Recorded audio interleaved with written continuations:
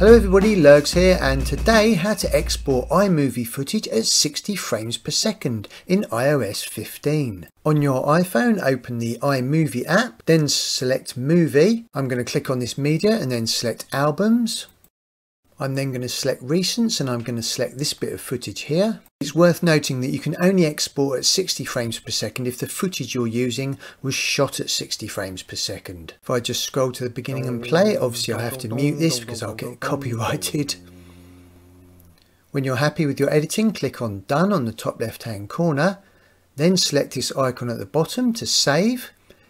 Now you want to select Options Scroll down, then select 60 frames per second, click on done, then scroll down, select save video, that then exports it to your photo app. Click on OK. Now if we come out of iMovie, go into the photo app.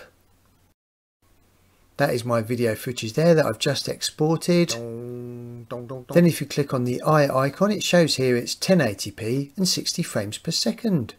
And I tell you what, I think that deserves a lovely cup of tea.